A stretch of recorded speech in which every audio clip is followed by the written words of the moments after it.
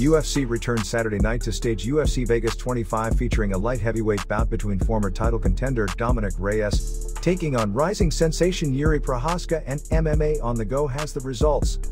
Starting with the prelims, Felipe Colares was given the unanimous decision victory over Luke Sanders after a high-paced back-and-forth battle through three rounds.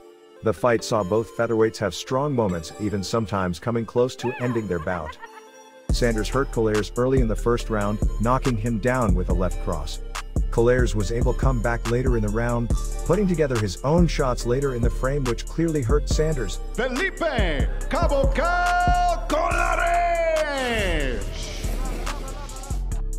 Andreas Michailidis outlanded KB Bhullar through three rounds to earn his first UFC victory via scorecards.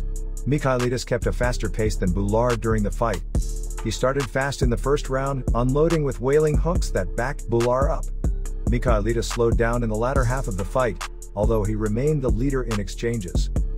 Both fighters were entering the fight after losing their UFC debut last year. Decision from Athens, Greece, Andreas the Spartan Loma Lookboonmee earned her second consecutive UFC win on the prelims, defeating Sam Hughes in a unanimous decision performance. The fight showed a well-rounded skill set from Lookboonmee, who competed on the feet and on the ground. Lookboonmee was able to land takedowns from the clinch position in the first round. The fight shifted more towards striking in the second half, where Lookboonmee was able to do damage in clinch positions with knees and punches.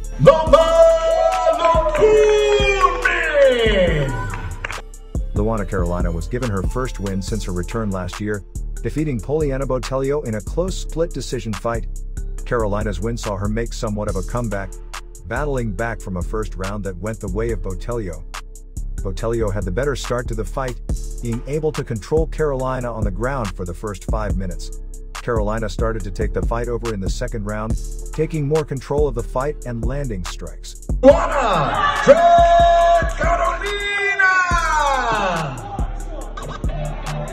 TJ Brown prevailed in a fast-paced battle against Kai Kamaka 3 via split decision on Saturday. The impressive showing for the featherweights, which many on the UFC broadcast declared to be a fight of the night contender, included fast stand-up battles on the feet in every round. The fight opened with the featherweights engaging in a high-intensity striking exchanges. Both fighters were able to stun each other in the second round, although it was a shot from Kamaka 3 that dropped Brown during the round. Brown was able to put pressure on Kamaka 3 while on his back, looking for a Kimura from the position. Downtown TJ Brown! Luana Pinheiro's UFC debut came to an unfortunate end in the first round, as an illegal upkick she took from Randa Markos made the referee opt to stop the fight.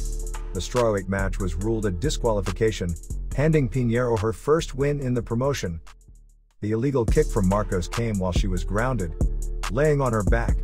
It connected with Pinheiro, who was on her knees in the moment. Before we finish the video, if you enjoyed this content, like, share, and subscribe. And don't forget to hit the notification bell to get the latest videos from MMA on the go.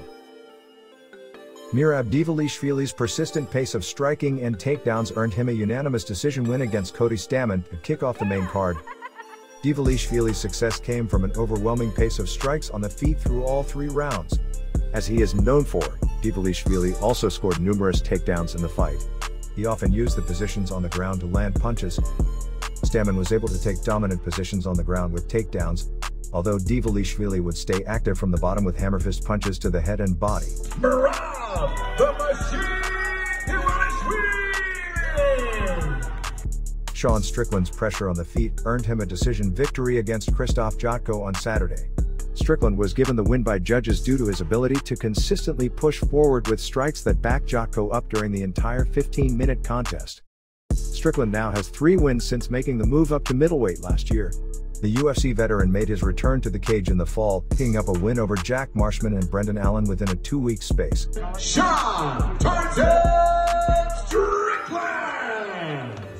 After Ion Cutelaba had a hot start in his fight and Dustin Jacoby looked better in the later rounds, the light heavyweight settled with a split draw on Saturday night.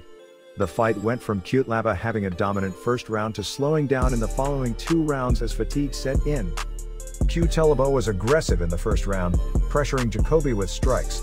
Cutelaba did damage against the cage, scoring with elbows to Jacoby while in a clinch position. Cutelaba slowed down significantly in the second round, allowing Jacoby to open up with more of his own strikes on the feet. Giga Chikadze picked up a big win in his quickly growing UFC win streak, stopping veteran Cub Swanson in the first round with strikes. Chikadze's win saw him drop Swanson with a body kick, allowing him to land a few punches on the ground before the referee stopped the fight. Chikadze now has six wins since he entered the UFC in 2019. The 32 year old's win was his first appearance of the year, following up on a busy 2020 that saw him pick up four wins. Jiri Prochazka's back and forth main event fight against Dominick Reyes came to an end late in the second round, as he connected with a spinning back elbow for a knockout victory. The win wrapped up a fight that saw both light heavyweight contenders land a high volume of strikes and get visibly rocked at points.